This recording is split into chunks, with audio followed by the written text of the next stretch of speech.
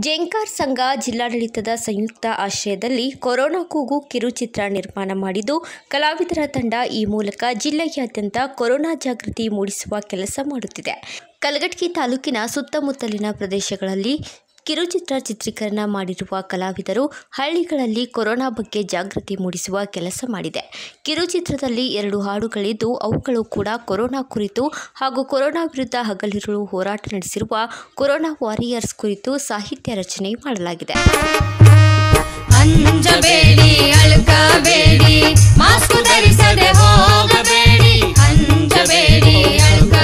ಹಾಗೂ ಆಶಾ ಕಾರ್ಯಕರ್ತೆಯರು ಕೊರೋನಾ ವಿರುದ್ಧ ಹೋರಾಟ ನಡೆಸಿದ್ದಾರೆ.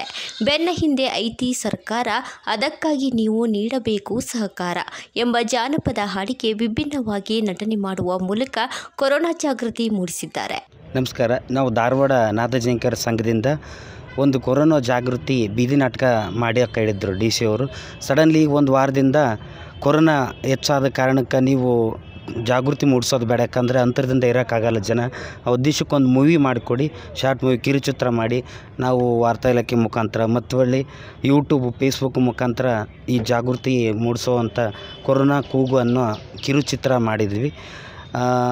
ಇದಕ್ಕೆ ಸಪೋರ್ಟಿವ್ ಅಂತಂದರೆ ಸರ್ಕಾರದಿಂದ ಸಂಘ ಸಂಸ್ಥೆಗಳಿಗೆ ಭಾಳ ಒಂದು ಸಹಾಯ ಸಹಾಯ ಸಹಕಾರ ಮಾಡಕ್ಕೊಂಡು ಬಂದಿದ್ದಾರೆ. ಅದು ಅದೇ ರೀತಿ ಇಪ್ಪತ್ತೆರಡು ನಿಮಿಷದ್ದು ಕೊರೋನ ಕೂಗು ಅಂತ ನಾಟಕ ಐತಿ. ಅದರಲ್ಲಿ ಎರಡು ಸಾಂಗ್ ಬರ್ತಾವೆ.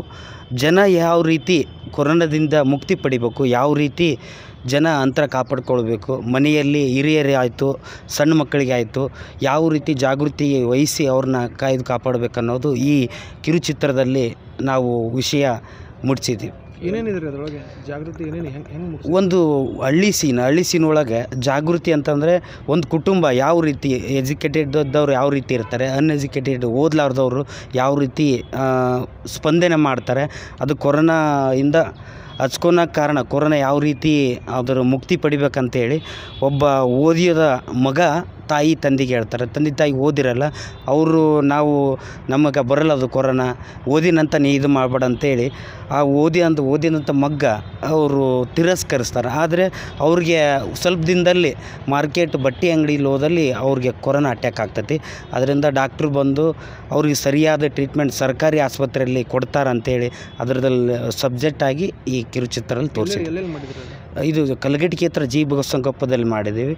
ಸುಮಾರು ಒಂದು ಹದಿಮೂರು ಜನ ಕಲಾವಿದರು ಒಂದು ವಾರ ಶೂಟಿಂಗ್ ಮಾಡಿಕೊಂಡು ವಾಯ್ಸ್ ಡಬ್ಬಿಂಗ್ ಇತ್ತು ರೆಕಾರ್ಡಿಂಗ್ ಎಲ್ಲ ಮಾಡಿ ಡಿ ಸಿ ಅವ್ರು ಕಳಿಸಿ ಡಿ ಸಿ ಅವರು ಮತ್ತು ಇಟ್ನರ್ ಸರ್ ಭಾಳ ಖುಷಿಪಟ್ಟು, ಭಾಳ ಪ್ರಶಂಸೆಯ ಉತ್ತರ ಕನ್ನಡ ಭಾಗದ್ದು ಈ ಕತೆ ಕೊಟ್ಟಿದ್ದೀರಿ. ಅದನ್ನು ಬಿಡುಗಡೆ ಮಾಡನ್ರಿ ಅಂತೇಳಿ ಇವತ್ತು ಅವರು ಬಿಡುಗಡೆ ಮಾಡಿಸಿದರು.